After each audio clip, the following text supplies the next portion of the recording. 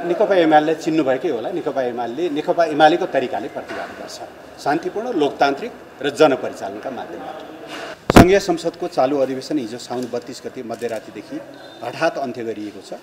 एक दर्जनभन्दा बढी अध्यादेशहरूको बारेमा निर्णय गर्नुपर्ने संसदमा विचाराधीन कैयौँ विधेयकहरूको टुङ्गो लगाउनु पर्ने र जनसरोकारका अनेकौँ विषयहरूबारे बहस गर्नुपर्ने संसदको अधिवेशनलाई एक महिनासम्म बिजनेसविहीन बनाउँदै अन्त्य गरेर सरकारले आफू र गठबन्धनमा आबद्ध पार्टीहरूबाट संसदका बारेमा यस अगाडि भनिएका विषय केवल ढोङ र आडम्बर मात्रै थिए भन्ने पुष्टि गरेको छ।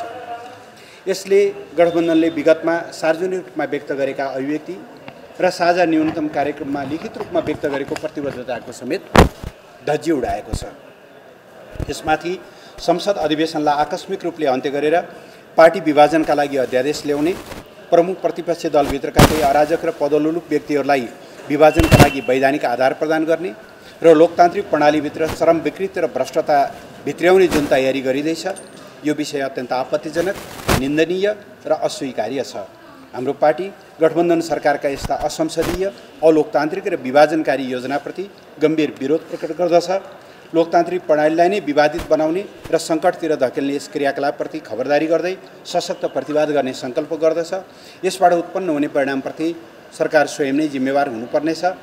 पार्टीका सबै नेता कार्यकर्ताहरूलाई पार्टीलाई विभाजित गर्ने हरेक षड्यन्त्रका विरुद्ध दृढतापूर्वक उभिन र पार्टी एकताको पक्षमा सक्रिय योगदान गर्न बैठक आह्वान गर्दछ।